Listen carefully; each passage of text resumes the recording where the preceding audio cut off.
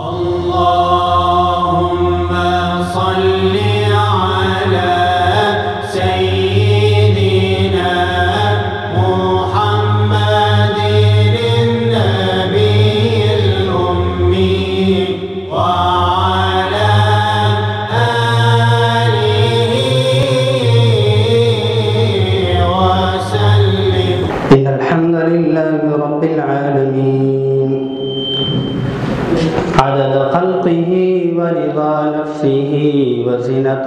عرشه ومداد كلماته اللهم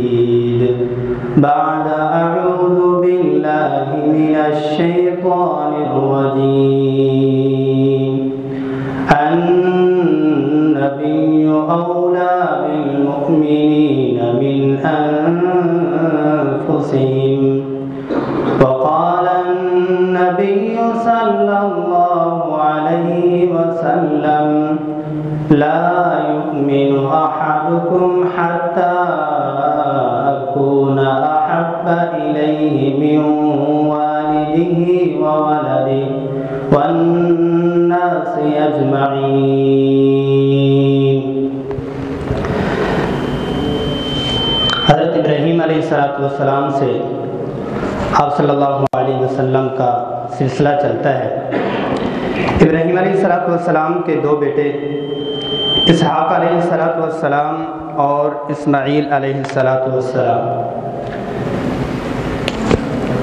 ابراہیم علیہ السلاۃ والسلام کے دو بیٹے، اسحاق علیہ السلاۃ والسلام اور اسماعیل علیہ السلاۃ والسلام۔ اسحاق علیہ السلاۃ والسلام کے سلسلہ نصب سے تمام انبیاء علیہ السلاۃ والسلام تشریف فرما ہوئے اور دوسرا فرزند اسماعیل علیہ السلاۃ والسلام ان کی لڑی میں وہ آخر میں خاتم الانبیاء علیہ السلاۃ والسلام تشریف فرما ہو۔ اسحاق علیہ السلاۃ والسلام کی لڑی سے اور پوش سے ایک لاکھ چوبیس ہزار کم و پیش انبیاء بنی اسرائیل میں، خالی بنی اسرائیل قبیلے میں چار ہزار کے قریب انبیاء علیہ السلاۃ والسلام تشریف فرما ہوئے۔ آپ صلی اللہ علیہ وسلم بنی اسماعیل میں سے ہیں۔ بنی اسماعیل میں سے کیسے جا کے لڑی ملتی ہے کہ ابراہیم علیہ السلاۃ والسلام کیسے شام سے چلے اور مکہ المکرمہ میں کعبہ کی آبیاری کے لیے، کعبہ کی تعمیر کے لیے وہاں پر رکے۔ اسماعیل علیہ السلاۃ والسلام کو وہاں پر چھوڑا اور واپس چل دیے۔ اب یہ ہے کہ یمن میں کہت آیا؟ یمن کے لوگ نکلے اپنی کوت کے لیے، اپنی غذا کے لیے۔ جب نکلے تو انہوں نے دور سے دیکھا کہ اوپر پرندے ہیں اور کچھ سبزہ بھی ہے کہ زمزم کا کنواں اسماعیل علیہ السلاۃ والسلام کی وجہ سے تھا۔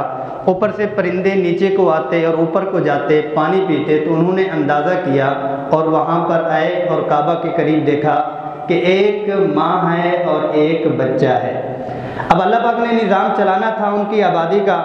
اب انہوں نے اجازت چاہی کہ ہم یہاں پر رہ لیں، یہاں پر تو پانی ہے۔ تو اماں حاجرہ نے ان کو اجازت دی کہ آپ یہاں پر رہ لیں۔ بلکہ خوش ہوئیں کہ اللہ پاک نے کوئی انسان کا نظام خود سے ہی چلا دیا۔ اب یہ ہے کہ یہاں سے سلسلہ ان کا آپس میں چلا، حتیٰ کہ یہ بنی جرہم یمن سے جو قبیلہ آیا تھا، ان کا اور اسماعیل علیہ السلاۃ والسلام کا دونوں قبیلوں کا آپس میں رشتے ہونا شروع ہوئے۔ اسماعیل علیہ السلاۃ والسلام کی شادی بھی انہی کی طرف ہی ہوئی۔ نظام مرور زمانہ کے ساتھ زمانہ گزرتا گیا اور یہ سلسلہ یوں ہی چلتا رہا۔ اسماعیل علیہ السلاۃ والسلام کو اللہ تبارک و تعالیٰ نے ایک سو تیس سال یا ایک سو بیس سال کی عمر عطا فرمائی۔ جب وہ چلے گئے تو ان کے بیٹے قیداد نے یہ مکہ المکرمہ کا جو کعبہ تھا، اس کی متولی بنے اور یہ سلسلہ بنی اسماعیل میں یوں چلتا آیا۔ بنی جرہم اور بنی اسماعیل کی بہت بڑی تاریخ ہے۔ قصہ مختصر یہ ہے کہ آپس میں ان کی لڑائی ہوئی۔ جب لڑائی ہوئی تو بنی جرہم، بنی اسماعیل کو اوپر غالب آئے۔ غالب ایسے آئے کہ کنویں کو بھی بند کر کے چلے گئے، کعبے کو بھی نقصان پہنچا کے چلے گئے اور ان کو مات دے کر واپس یہاں سے نکل کھڑے ہوئے۔ ایک زمانہ گزرا۔ کہ جس میں آب زمزم کا جو کنواں ہے، یہ بند ہی رہا۔ اب سلسلہ چلتا آ رہا۔ یہاں تک کہ آپ صلی اللہ علیہ وسلم کے جد امجد دادا عبد المطلب تک جب پہنچا، تو ان کو خواب آئی کہ احفر المعونہ موضونہ احفر الطیبہ۔ آپ موضونہ کو، طیبہ کو دوبارہ سے کھو دیں۔ تو انہوں نے دو تین تین دفعہ جب خواب آئی تو انہوں نے پوچھا وہ موگونا کیا ہے، وہ طیبہ کیا ہے، وہ بیر کیا ہے، مجھے بتلائیں۔ تو خواب میں ایک فرشتے نے ان کو اشارہ کر کے بتلایا کہ یہ جگہ ہے، یہ کنواں ہے، اس کو آپ کھودنا شروع کر دیں۔ صبح جاگے تو کھودنا شروع کیا۔ جب کھودنا شروع کیا تو قریش کے دوسرے لوگوں نے ان کی مخالفت کی، لڑائی کے لیے کھڑے ہوئے۔ وہ ایک عورت کے پاس فیصلے کے لیے بھی گئے اور بیچ میں ان کے ساتھ لڑنے کے لیے بھی آئے، لیکن ان کے جب رکاوٹیں آئیں لڑنے میں تو انہوں نے کہا عبد المطلب حق پہ ہیں، یہ جو کھودنا چاہتے ہیں تو کھودنے ہی دے جب یہ کنواں کھود رہے تھے تو کنواں کھودنے کے درمیان میں ان کی مدد کے لیے ان کے بیٹے نہیں تھے۔ ابو الحارث، حارث نام کا ایک بیٹا تھا اور کوئی بھی نہیں تھا۔ جب لڑائی ہونے لگی تھی تو عبد المطلب اس پر پریشان تھے کہ میرے بیٹے اور میرا خاندان ہوتا۔ جیسے یہ میرے ساتھ لڑائی کرنے کو تیار ہوئے تھے تو میں بھی قوت، افرادی قوت کے ذریعے سے ان کا مقابلہ کر پاتا۔ اللہ پاک سے دعا کی کہ یا اللہ مجھے آپ دس بیٹے دیں۔ دس بیٹے دیں۔ ایک بیٹا میں آپ کی راہ میں ذبح کر دوں گا۔ مجھے دس بیٹے دیں۔ ایک بیٹا آپ کی راہ میں میں ذبح کر دوں گا۔ اب یہ ہے کہ زمانہ چلا۔ اللہ نے دس کے دس بیٹے دے دیے۔ ان دس بیٹوں میں ایک بیٹے کا نام عبداللہ بھی تھا۔ ان دس بیٹوں میں ایک بیٹے کا نام عبداللہ بھی تھا۔ اب یہ ہے کہ تمام بیٹوں میں سب سے زیادہ خوبصورت اور پرکش شخصیت جو تھی وہ عبداللہ کی تھی۔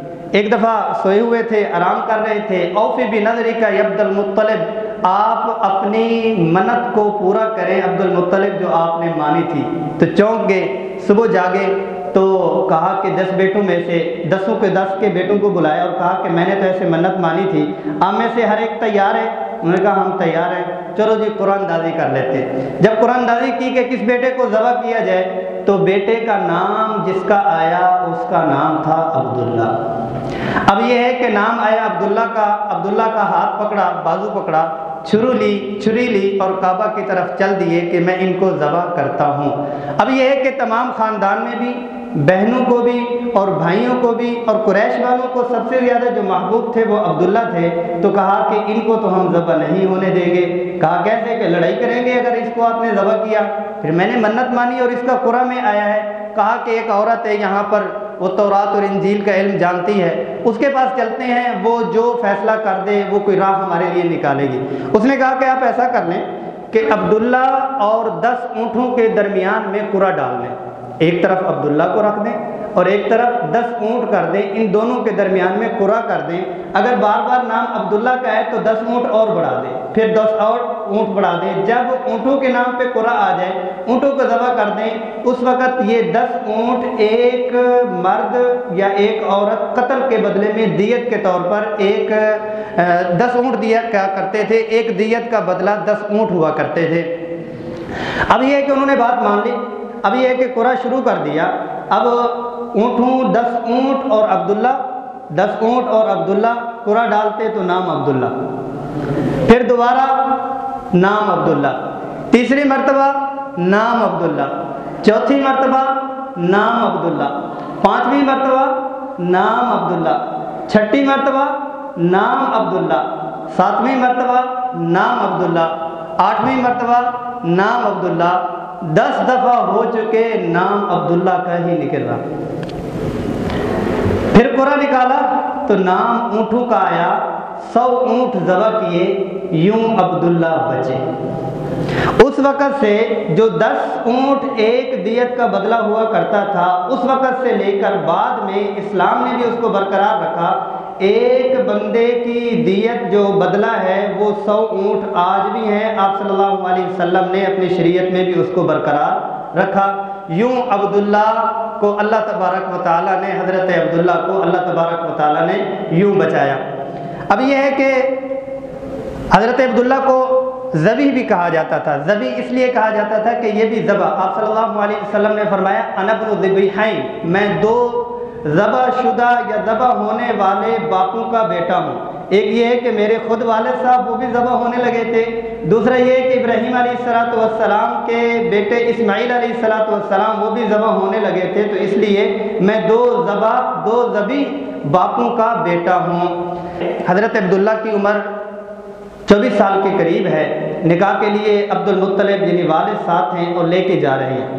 راستے میں ایک عورت جو تورات کو بھی جانتی ہے اور انجیل کو بھی جانتی ہے، فاطمہ بنت مر اس کا نام ہے، اس نے روک دیا۔ کہا کہ آپ کو سو اونٹ دوں گی۔ حضرت عبداللہ کو روک دیا۔ کہا کہ آپ کو سو اونٹ دوں گی، میرے ساتھ نکاح کر لو اور یہاں ٹھہر جاؤ۔ تو انہوں نے اشعار پڑھے۔ اشعار کا مضمون کا مفہوم یہ ہے کہ ہم نے تو کبھی ہمارے نصب نے بھی اس طرح کا کام نہیں کیا۔ ہم اپنے ابا و اجداد کے نقش قدم پر نکاح ہی سے فائدہ حاصل کرتے ہیں۔ زنا کا راستہ کبھی بھی ہم نہیں چھیڑتے اور نکاح کا راستہ کبھی بھی ہم اختیار نہیں کرتے۔ حضرت عبداللہ جاتے ہیں، نکاح ہو جاتا ہے۔ چند عرصہ وہاں پر رہتے ہیں، دوبارہ جب واپس آتے ہیں تو وہی عورت دوبارہ سے ملتی ہے۔ کہتی ہے، اب کہاں رہے اور کہاں تھے؟ کہا کہ میری شادی ہوئی اور فلاں قبیلے میں میری شادی ہو گئی۔ کہا کہ اس وقت جو میں نے آپ کو سو اونٹ کہا تھا اور دعوت دی تھی اپنے پر رہنے کی، وہ اس لیے نہیں دی تھی کہ میں کوئی ایسی ویسی عورت ہوں، بلکہ اس لیے دی تھی، ہماری کتابوں میں لکھا تھا، اس راستے سے گزرے گا اور اس کی پیشانی میں نور ہوگا۔ وہ نور میں نے دیکھا تھا، وہ خوش قسمت پیٹ اور رحم اور وہ عورت جس کے پیٹ میں وہ نور ٹھہر چکا، وہ نور پیشانی میں اب موجود نہیں ہے، وہ چلا جا چکا ہے۔ آپ صلی اللہ علیہ وسلم کی آمد سے پہلے ہی اللہ تبارک و تعالیٰ نے انسانیت کے لیے ایک گراؤنڈ بنایا۔ انسانیت کی چاہت کے لیے اللہ تبارک و تعالیٰ نے ایک چاہت کے مواقع دیے، انتظار دی۔ جیسے کہ ایک خاص چیز کی انتظار ہوتی ہے تو اس کی طلب اور ڈیمانڈ کے لیے مختلف اشارات اور مختلف علامات اللہ تبارک و تعالیٰ نے پہلے سے ہی دی۔ ان میں یہ ہے کہ واقع فیل ہوا۔ آپ صلی اللہ علیہ وسلم کی ولادت باسعادت سے پچیس یا پچاس دن پہلے، پچیس یا پچاس دن پہلے واقع فیل ہوا۔ واقع فیل یہ ہے کہ ابرا یمن کا ایک گورنر اور بادشاہ اس نے بہت بڑا خوبصورت کعبہ بنایا، اس بنیاد پر بنایا کہ لوگ وہ سعودیہ جاتے ہیں، مکہ جاتے ہیں، وہاں پر جا کر کعبہ کا طواف کرتے ہیں، سادہ سا گھر ہے۔ ان کو لیے خوبصورت سا گھر میں کچھ تیار کرتا ہوں۔ جب خوبصورت گھر تیار کیا تو مسلمانوں میں سے کسی نے اس میں گندگی کر دی، اس کو غصہ آیا، اس غصے کی بنیاد پر کھڑا ہوا اور بارہ سو یا تیرہ سو یا ستر یا اسی مختلف روایات آتی ہیں۔ اس نے لوگ تیار کیے اور ہاتھی تیار کیے اور کعبے کو ڈھانے کی نیت سے یمن سے نکل پڑا کہ میں ان کا کعبہ ڈھا کے لاؤں گا اور ان کو گرا دوں گا۔ جتنے لوگ بھی دنیا میں آئیں گے، اسی کعبہ کا ہی آ کے طواف کریں گے جو میں نے یمن میں بنایا۔ لوگوں نے بڑا اس کو سمجھایا کہ آپ نہ جائیں۔ آپ کو پتہ ہے کہ جو کعبہ ہے، اس کا رب ہے۔ بنیادی طور پر یہ کہ اس وقت، اس زمانے میں بھی آپ صلی اللہ علیہ وسلم جب تشریف فرما ہوئے، اللہ کا نام تھا۔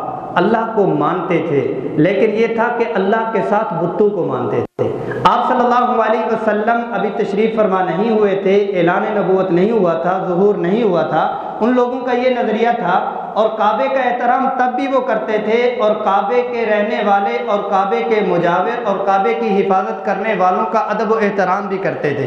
حتیٰ کہ قریشی خاندان جہاں کہیں بھی ہوتے ان کا بڑا ہی ادب اور احترام کرتے۔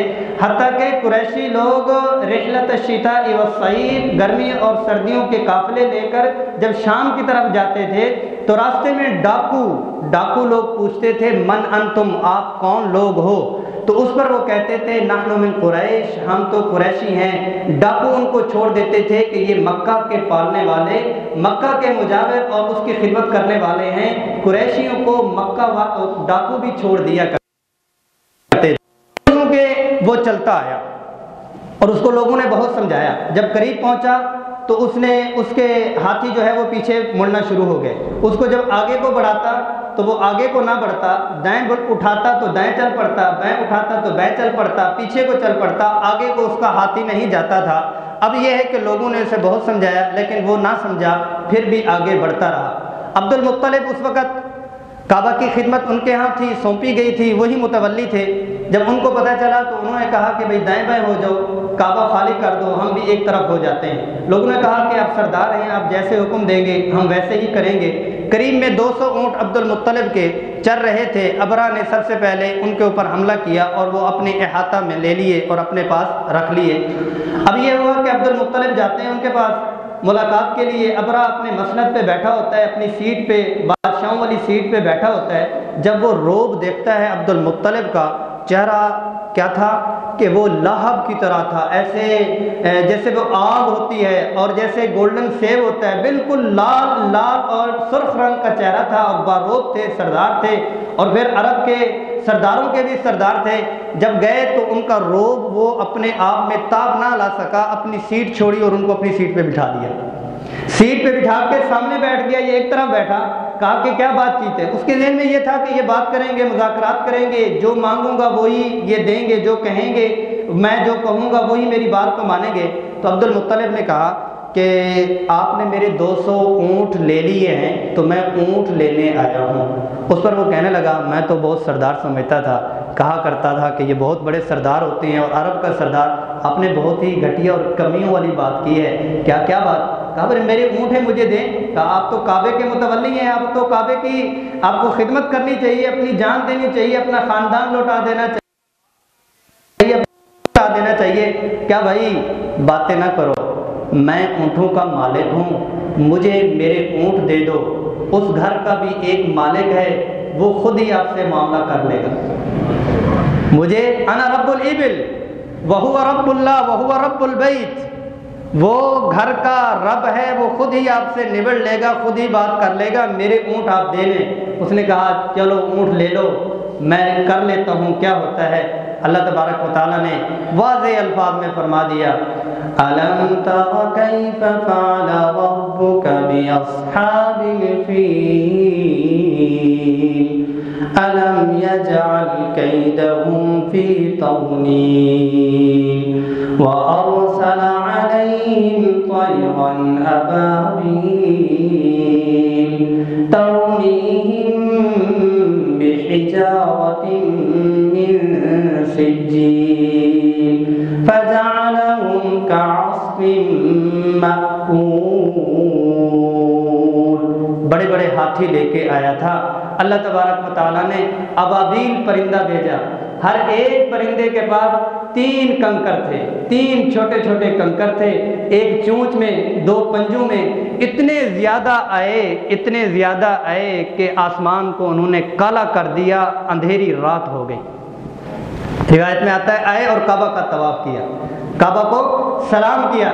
کعبہ کا طواف کرتے ہی اس طرف مڑے، جس طرف اس کے بڑے بڑے ہاتھی تھے۔ پھر فَجَعَلَهُمْ كَعَصْفٍ مَأْكُولٍ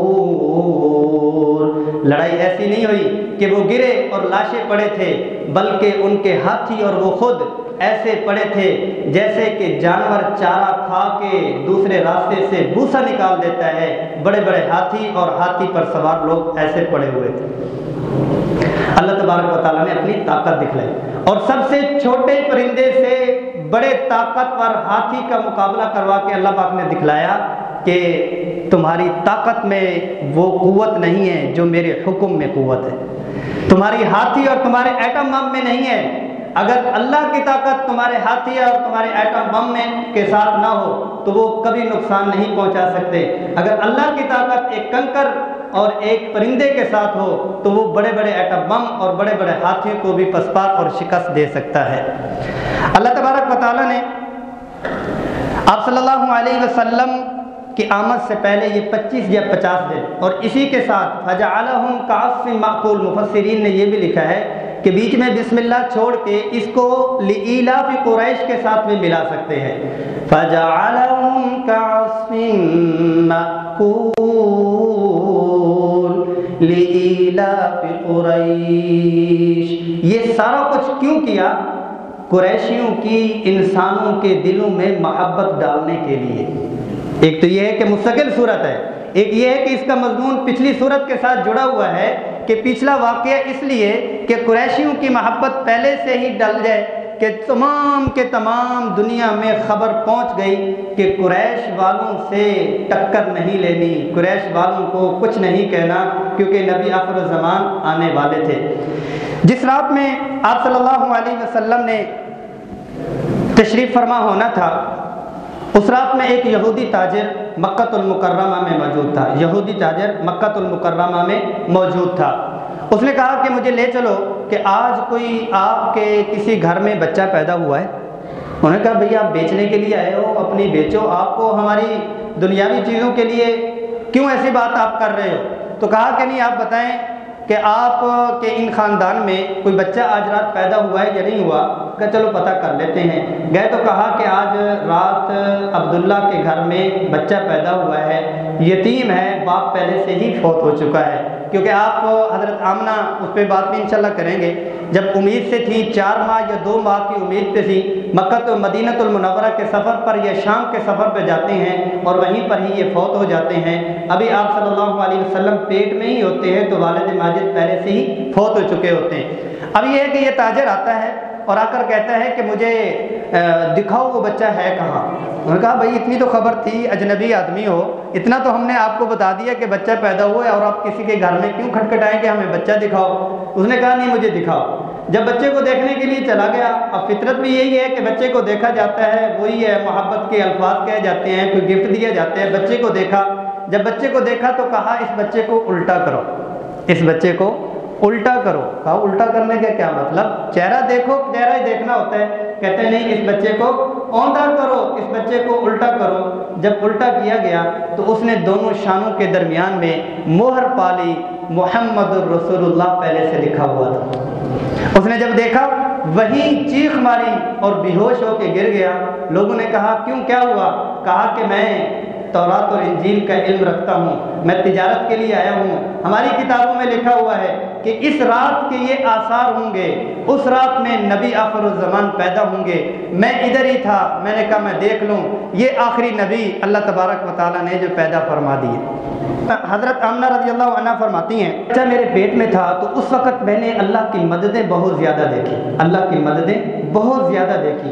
ایک مدد تو یہ دیکھی کہ میرے پیٹ میں وزن نہیں ہوا۔ میرے پیٹ میں وزن نہیں ہوا، جو ایک فطری وزن بچے کا پیٹ میں ہوتا ہے، مجھے کبھی بھی وزن محسوس نہیں ہوا۔ بچے کی کبھی تکلیف مجھے محسوس نہیں ہوئی۔ جتنی دیر جب تک یہ بچہ میرے پیٹ میں رہا، میں اگر پتھر پہ پاؤں رکھتی تو وہ بھی موم ہو جاتا۔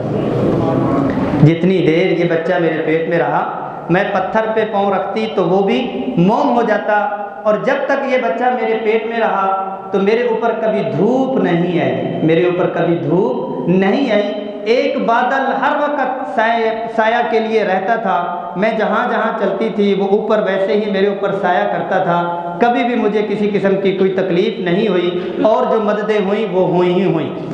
حضرت امنہ رضی اللہ عنہ فرماتی ہیں کہ جس شام آپ صلی اللہ علیہ وسلم کی ولادت باسعادت ہوئی اس شام میں میرا کمرہ رونق ہوا اور مجھے شام کے محلات دکھائے گئے اور ان میں زلزلہ اور ان کے جو کینکرے اور ان کے جو فانوس تھے وہ گرتے ہوئے بھی دکھائے گئے۔ ادھر سے کیا ہوا کہ شام کی آتش اور روم اور فارس میں جو آتش تھی، جو آگ تھی، جو ہزار سال سے چل رہی تھی، وہ بھی بجھ چکی۔ اور ان کے جو محلات میں، جو ان کے فانوس لگے ہوئے تھے، وہ بھی گر چکے۔ اور موبزان ایک وزیر تھا، اس نے رات کو خواب دیکھا۔ خواب کیا دیکھا ہے کہ سخت اونٹ سخت اونٹ عربی گھوڑوں کو کھینچتے ہوئے جا رہے ہیں۔ سخت اونٹ عربی گھوڑوں کو کھینچتے ہوئے جا رہے ہیں۔ اب یہ ہے کہ یہ صبح کو جاگتا ہے اور کہتا ہے کہ ایسے ایسے کیا ہوا؟ خواب نہیں تھا، زلزلہ آیا اور آگ جو ہے وہ بجھ گئی۔ مبزان نے اوپر سے اپنا خواب سنا دیا تو کہا کہ چلو پتہ کر لیتے ہیں، ہوا کیا؟ کہا، عرب میں کوئی ہوا ہوگا، کوئی واقعہ رونما ہوا ہوگا۔ کہتے پتہ چل جاتا ہے، پتہ کر لیتے ہیں۔ ان میں سے اس وقت جو سب سے بڑا عالم جو تورات کو جانتا تھا عبد المسیح تھا۔ عبد المسیح کو بلایا گیا، کہا کہ ایسے ایسے خواب دیکھا، زلزلہ آیا، آگ بک چکی، اب کیا کرنا چاہیے؟ انہوں نے کہا کہ اس کو میں تو نہیں جانتا، اس خواب کی تعبیر کو۔ میرے ایک خالہ ہے یا خالو زاد ہیں، ستیح ان کا نام ہے، ان کے پاس جاتے ہیں اور ان سے جا کر اس خواب کی تعبیر پوچھتے ہیں۔ اب یہ ہے کہ تیز اونٹ اور تیز سواری اس کو دی دی گئی۔ اب وہ ستی کے پاس پہنچتا ہوا، بھاگتا ہوا پہنچا۔ ستی آخری ایام میں تھا اور آخری سانسوں میں تھا اور بات چیت بھی نہیں کر سکتا تھا۔ عبد المسیح نے تعارف کروانے کی کوشش کی تو وہ پہچان بھی نہیں پایا۔ اب پھر کیا ہوا کہ جب پہچان نہیں پایا تو انہوں نے کچھ اشعار اور ابیات پڑھے۔ ان اشعار کی بنیاد پر اس نے تھوڑی سی آنکھیں کھولی۔ آنکھیں کھول کے کہتے ہیں عبد المسیح ہو۔ تیز رفتار سواری پر آئے ہو۔ خود سے کہا، خود سے کہا، سوال نہیں پوچھا۔ عبد المسیح ہو، تیز رفتار سواری پہ آئے ہو۔ آگ بھگ چکی ہے اور فانوس ٹوٹ چکے ہیں۔ اور کیا ہے کہ پانی تمہارا خشک ہو چکا ہے۔ تو میں تمہیں بتا رہا ہوں، ہماری فلاں کتاب میں لکھا ہے کہ جب آگ بھگ جائے اور عربی گھوڑوں کا خواب دیکھا جائے اور یہ ہے کہ دریائے صحابہ خشک ہو جائے تو پھر شام شام والوں کے لیے نہیں رہے گا۔ ان کو جا کر بتا دو، نبی آخر و پیدا ہو چکے۔ اب یہ ہے کہ آپ صلی اللہ علیہ وسلم کے آنے سے پہلے ہی آپ صلی اللہ علیہ وسلم کی تیاریاں کی جا رہی ہیں۔ آپ صلی اللہ علیہ وسلم جب اس دنیا میں تشریف فرما ہوتے ہیں، تو آپ صلی اللہ علیہ وسلم پیدائش کے وقت ہی نہلائے ہوئے، دھلائے ہوئے، غسل شدہ ہوتے ہیں۔ جسم اتھر کے اوپر کسی قسم کی کوئی بھی علائش کسی قسم کی کوئی بھی ایسی چیز نہیں ہوتی جو عام بچوں پہ ہوتی ہے۔ خوشبو کے ساتھ معطر اور نہلائے دھوئے ہوئے، ختنہ بھی ہوا ہوا اور جو نافع ہوتا ہے وہ بھی کٹا ہوا آپ صلی اللہ علیہ وسلم کی پیدائش ہوتی ہے۔ سیرت حلبیہ میں لکھا ہے کہ یہ بچہ جب پیدا ہوتا ہے تو پیدا ہوتے ہی، پیدا ہوتے ہی کیا ہوتا ہے کہ پورا نماز والا یہ سجدہ کرتا ہے۔ پورا نماز والا یہ بچہ سجدہ کرتا ہے۔ اور سجدے میں کیا آواز آتی ہے؟ یا ربی امتی، یا ربی امتی، یا ربی امتی۔ اور روایات میں آتا ہے کہ توفو بھی مشارق الارض و مغاربہا۔ اس بچے کو لے کر مشرق اور مغرب میں گھما دو اور اس کی خوشبو اور تمام انبیاء کے اخلاقیات، تمام انبیاء کے صفات اس بچے کو تم دے دو۔ اب یہ ہے کہ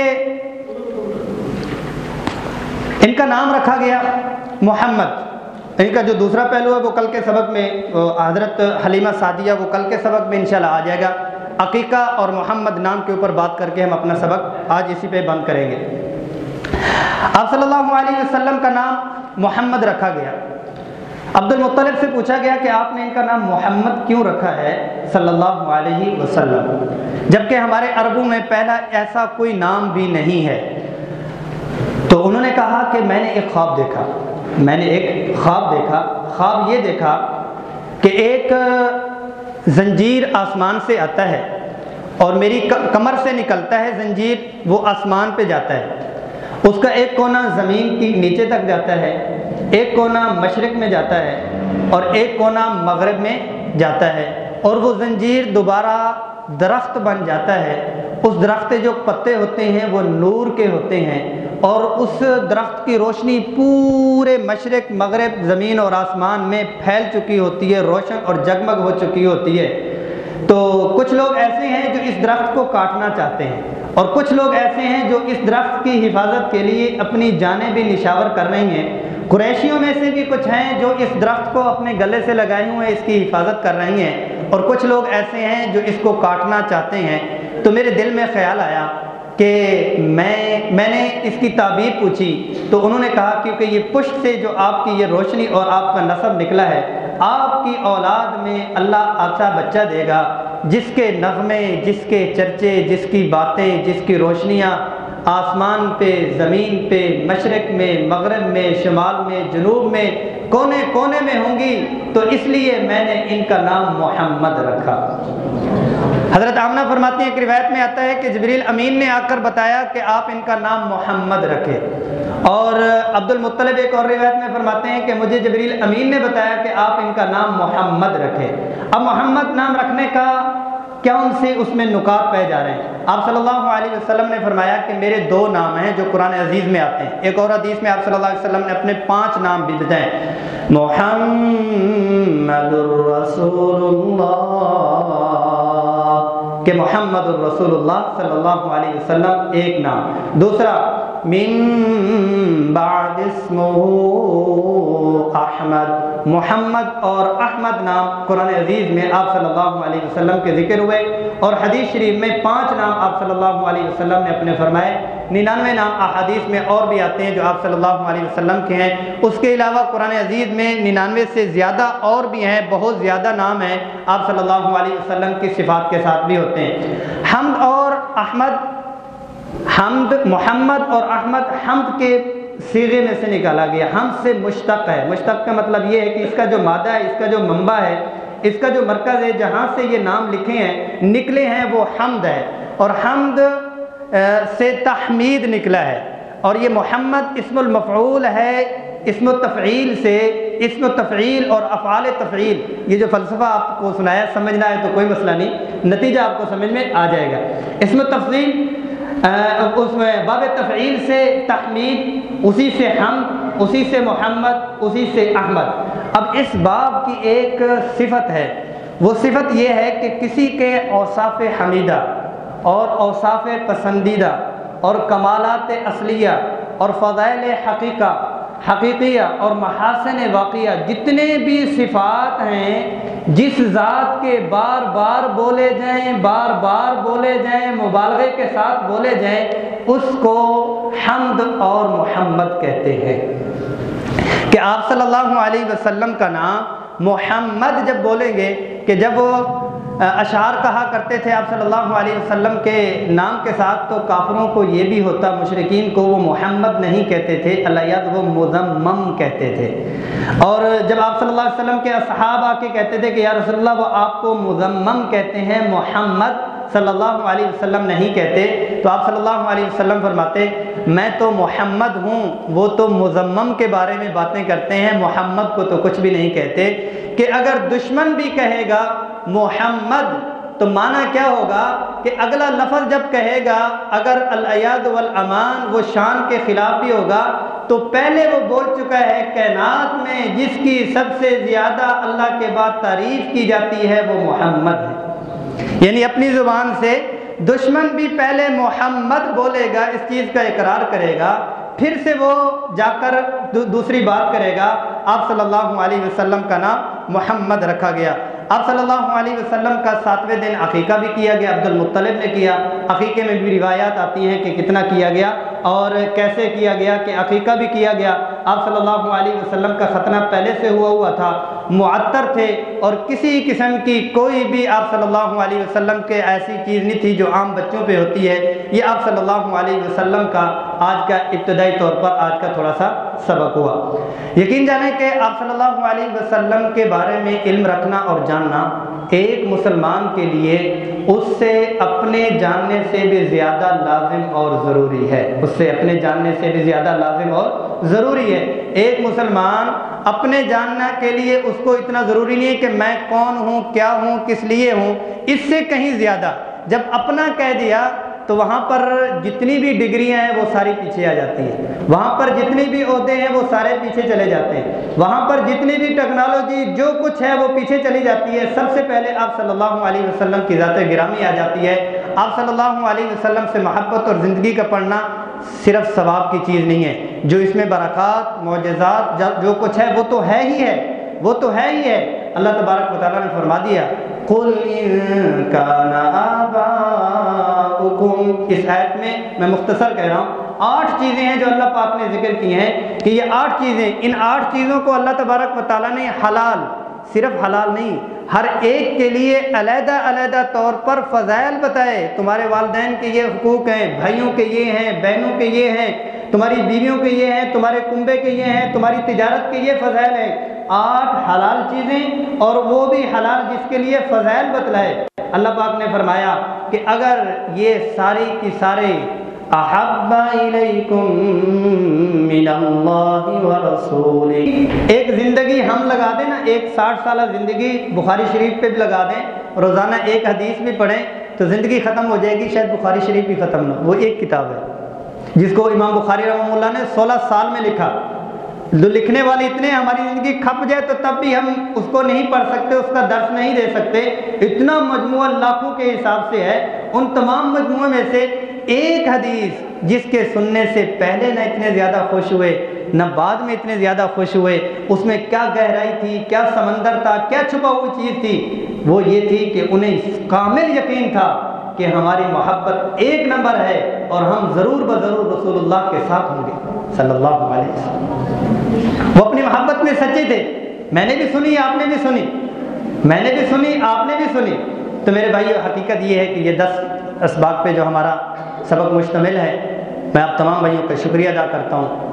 خصوصاً جو آپ میں سے سفید ریش ہیں، بزرگ ہیں، بڑے ہیں، قابل احترام ہیں، اور آپ تمام کا آپ صلی اللہ علیہ وسلم کی نسبت کی وجہ سے کہ یہاں ہم خود استقبالیہ پہ کھڑے ہوں اور آپ تمام کا چہرہ اور ماتھا ہم چومیں کہ آپ آپ صلی اللہ علیہ وسلم کی حیات سیکھنے، پڑھنے اور سننے کے لیے تشریف لاتے ہیں۔ تو یقیناً فرشتے فرشتے ضرور آپ گھر سے پڑھنے کی نیت سے اور پھر علوم نبوت اور براہ راست آپ صلی اللہ علیہ وسلم کی زندگی کی نسبت سے ہم آتے ہیں۔ تو اللہ تعالیٰ ہمیں بہت ہی جزائے خیر دیں گے۔ ہم اپنی زندگی میں اس کی تبدیلی دیکھیں گے۔ یہ دس اسباق ہیں صرف یہ چکھنے کے لیے۔ زندگی میں خود اپنی تبدیلی دیکھیں گے کہ ہم آپ صلی اللہ علیہ وسلم کا نام لے کے جو جان دے دیتے ہیں، پہچان کے جان دینے کا کیا ہی سرور ہوگا؟ تو ہم کوشش کریں کہ کل سے جب ہم تشریف لائیں، انشاءاللہ وقت پہ سبق شروع ہوگا۔ پہلا دن تھا، نعت اور تلاوت بھی سننی لازمی تھی۔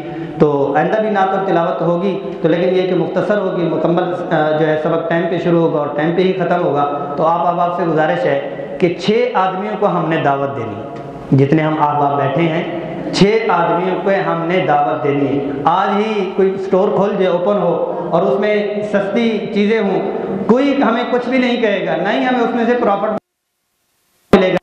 فضول میں ہی ہم دس، پندرہ، بیس لوگوں کو کہیں گے سستی ملتی ہے۔ کپڑا بہت اچھا ملتا ہے۔ دکاندار کہے گا کہ فلاں سے پروڈکٹ بہت اچھی ملتی ہے۔ ایسے ہی کہنا شروع کر دیں لے، کہیں اور لوگ جانا شروع کر دیں گے، جہاں پہ ہمیں اللہ کی طرف سے محبت رسول اللہ صلی اللہ علیہ وسلم سے محبت ملے گی تو ہم کتنا آگے چلے جائیں گے؟ تمام احباب کتنے لوگوں کو دعوت دے کے آئیں گے؟ زیادہ کو دیں کم از کم چھ لوگوں کو، کم از کم چھ لوگوں کو ہم دعوت دیں گے اور ساتھ بھی لائیں گے۔ دس دن کی بات ہے، زندگی ہماری بیت چکی ہے، اس کا اہتمام کریں گے نا انشاءاللہ۔ تو اس سبق میں ایک تو یہ ہے کہ انشاءاللہ آپ کو دعائیں بھی تھوڑی سی مل چکی ہوں گی، سبق کے ساتھ آپ کو دعائیں بھی ملیں گی۔ اچھا میں اس سبق میں ایسا منہمک ہوا، یہ چلانا ہی بھول گیا، مجھے پتہ ہی نہیں ہے۔ چلو، کل سے چلائیں گے آپ۔ تو دوسرا یہ ہے کہ آپ کو ایک دعا مل رہی ہے، آپ کے پاس پہنچ چکی ہے، میں دوہرا بھی دیتا ہوں۔ ایک دعا ہم سیکھیں گے، سارا دن سیکھیں۔ اپنے ٹیبل پہ رکھتے، آتی ہے تو بہت اچھا اس کو عمل میں لیں۔ اگر نہیں آتی تو اپنے موبائل سے آپ پکچر لے لیں، گاڑی کے ڈیش بورڈ پہ لگا دیں، ٹیبل پہ لگا دیں، اپنے بیڈ کے ساتھ لگا دیں، اپنے دروازے کے ساتھ لگا دیں۔ آتے جاتے آپ اس کو پڑھتے رہیں تو ایک دعا یاد ہو جائے گی۔ اور دس دنوں میں دس صفات بھی ہم نے سیکھنی ہے دس دنوں میں دس صفات بھی ہم نے سیکھنی ہے کل کی تھوڑی سی صفات پہ بھی کر دیں گے کہ کل کی جو ہماری ایک صفت ہے، وہ شکر ہے۔ کل کی جو ہماری صفت ہے، وہ شکر ہے کہ ہم نے ہر ایک چیز پہ اللہ کا شکر ادا کرنا ہے۔ ہر ایک چیز میں۔ یہاں سے ابھی سے ہم اللہ کا شکر ادا کریں کہ اللہ آپ کا شکر ہے کہ آپ کا شکر ادا کرتے ہیں، ہم اس کورس میں آئے۔ گھر میں داخل ہونے لگے، دعائیں تو ہیں، شکر کرے یا اللہ، آپ نے مجھے گھر دیا۔ گاڑی پہ بیٹھنے لگے، شکر ہے یا اللہ، آپ نے مجھے سواری دی۔ جس حال میں ہے شکر کرے، کل کا دن جو ہے، وہ شکر کا دن ہے۔ تو ایسے دس صفات بھی ہم سیکھیں گے، دس دعائیں اور دعاؤں کے آداب بھی سیکھیں گے۔ میرے خیال میں رات کو سونے اور جاگنے کی دعا آپ کے سامنے آ چکی ہوئی ہے۔ تو عموماً یہ یاد ہو جاتی ہے، میں ویسے دہرا دیتا ہوں اور انشاءاللہ کل سے آپ کو ایک سبق ختم ہونے سے پہلے درو شریف کی کاپی بھی ملے گی۔ چالیس درو شریف پہ مشتمل، پانچ منٹ میں آپ سارے جو ہے وہ درو شریف پڑھ لیا کریں گے، چالیس کے چالیس، تاکہ ہمارا یہ گفٹ، ہماری یہ محفل، آپ صلی اللہ علیہ وسلم کو بھی تو روزانہ ہم گفٹ دینا۔ یہاں سے گفٹ ہمارا کتنا خوبصورت چالیس چالیس درو شریف اور مسنون درو شریف اور سو لوگ، ڈیڑھ سو لوگ اس کو پڑھ کے آپ صلی اللہ علیہ وسلم کو وہاں گفٹ پہنچتا ہے، حدیث شریف میں آتا ہے۔ جب بھی درو شریف پہنچتا ہے تو فلاں بن فلاں کے نام پر پہنچ جاتا ہے۔ درود شریف ایک ایسی عبادت ہے جو مقبول ہے۔ درود شریف ایک ایسی عبادت ہے صلی اللہ علیہ وسلم۔ آپ بھی ایک دفعہ پڑھ لیں۔ جو سبق پیچھے پڑھا، پڑھایا، اس کی کوئی گارنٹی نہیں ہے قبول ہوا ہے یا نہیں ہوا۔ لیکن جو میں نے پڑھا، آپ نے کیا فل سو فیصد گارنٹی ہے کہ یہ قبول ہو چکا۔ ایک واحد عبادت ہے جو گارنٹیڈ ہے کہ اللہ پاک قبول فرماتے ہیں، اس لیے کہتے ہیں کہ دعا سے پہلے بھی درو شریف، آخر میں بھی درو شریف۔ پہلا بھی قبول ہوگا، آخر بھی قبول ہوگا، ان دونوں کی برکت سے درمیان بھی قبول ہوگا۔ تھوڑی دیر کے لیے آپ احباب سے گزارش ہے کہ ویسے ہی دس پندرہ، بیس بیس، چالیس دفعہ درود ابراہیم صلی اللہ علیہ وسلم بغیر کاپی کے ہی پڑھ لیں، پھر انشاءاللہ دعا کرتے ہیں۔ اللہ صلی محمد. اس پیپر کو کسی فائل وغیرہ میں لگا دیں۔ امید ہے کل آپ کو فائل کی سہولت ملے گی، ہر روز کا سبق ملے گا۔ اسی طرح پروجیکٹر پہ بھی دکھایا جائے گا۔ اور جو دعا ہوگی وہ بھی ملے گی اور جو صفت ہوگی شکر کی، صبر کی، اس کی کچھ فضیلتیں بھی حدیث کے ساتھ وہ بھی پیپر انشاءاللہ آپ کو دیا جائے گا۔ اللہم صلی علی محمد النبی الامی وعلی آلہ وسلم تسلیما اللہم صلی علی محمد النبی الامی وعلی آلہ وسلم تسلیما یا اللہ کریم، یا رحیم، یا مولا یا جلال اکرام آپ کی چاہت، ارادے اور مشیت سے یا اللہ ہم نے یہ کورس شروع کیا۔ اللہ اس کو اپنی بارگاہ میں قبول فرما۔ رسول اللہ صلی اللہ علیہ وسلم کی حقیقی محبت کا ذریعہ بنا۔ ان کی اطاعت کرنے کا ذریعہ بنا۔ ان سے حقیقی محبت نصیب فرما۔ ان کی آل سے محبت نصیب فرما، ان کے اصحاب سے محبت نصیب فرما، ان کے شہر سے محبت نصیب فرما، یا اللہ ان کے اعمال سے محبت نصیب فرما، صحابہ والی صفات نصیب فرما، صحابہ والی صفات کے ساتھ پوری دنیا میں دین کا کام کرنے والے بنے اس کی میں توفیق نصیب فرما، یا اللہ اس کی برکات ہماری نسلوں کو بھی عطا فرما ہماری خواتین کو بھی نصیب فرما، یا اللہ یہ کریم، یا رحیم، اس مسجد کی انتظامیہ، یا اللہ جنہوں نے یہ انتظامات کیے ہیں، تمام کو ڈھیر بے جزائے خیر عطا فرما مسجد کو بنانے والے حدیث صاحب رحمۃ اللہ علیہ. یا اللہ کریم، وہ بہت خوش قسمت ہیں، ان کی روح آج بہت ٹھنڈی ہوگی، بہت یا اللہ خوش ہوگے. یا اللہ صلی اللہ علیہ وسلم کی سیرت کا پروگرام، ان کی قبر میں، ان کی جنت میں، ان کے لیے بہت ہی ذریعہ ہوگا. یا اللہ ہمیں بھی موت سے پہلے ایسے فلاحی اور صدقہ جاری کے کام کرنے کی توفیق نصیب فرما۔ یا اللہ، یا کریم، یا رحیم، یا مولا، یا جلال والاکرام ہم سب کو دنیا اور آخرت کی تمام خوشیاں نصیب فرما، تمام راحتیں نصیب فرما، تمام عزتیں نصیب فرما۔ ہر قسم کی پریشانی سے محفوظ فرما، ہر قسم کی مصیبت سے محفوظ فرما۔ جتنے بیمار ہیں، گھروں میں ہیں اسپتالوں میں ہیں، تمام کو صحت یابی نصیب فرما۔ ہماری حفاظت فرما، گھروں کی حفاظت فرما، مساجد اور مدارس کی حفاظت فرما۔ مشیخ اور علماء کی حفاظت فرما، ملک پاکستان کے چپے چپے کی حفاظت فرما، بیرونی اندرونی ساتھوں سے اس ملک کو محفوظ فرما۔ کہ اللہ مسلمان، جہاں کہیں بھی مظلوم ہیں، پریشان ہیں، ان کی مدد و نصرت فرما۔ آپ صلی اللہ علیہ وسلم کا نام نصیب فرما، ان کے نام کی مٹھاس نصیب فرما، ان کے نام کی لذت نصیب فرما۔ یا اللہ شوق اور ولولہ اور جذبہ نصیب فرما، اطاعت کرنے والا بنا۔ یا آپ صلی اللہ علیہ وسلم کی آخرت میں سفارش اور محبت نصیب فرما صلی اللہ تعالی على خير خلقه محمد وعلى